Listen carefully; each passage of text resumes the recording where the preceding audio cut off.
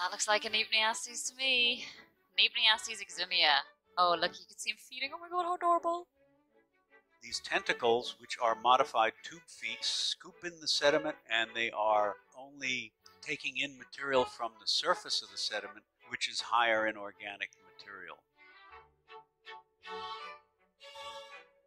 They're benthic, but they do spend a large portion of their life up in the water column, whether that is to get somewhere much faster. And he did his poop just before he lifted off. And that's something that these the holothurians are known to do. They drop as much weight as they can just before they lift off. But here you can see it's either trying to get somewhere quickly or more likely trying to evade a predator, and that's probably what it makes of D2.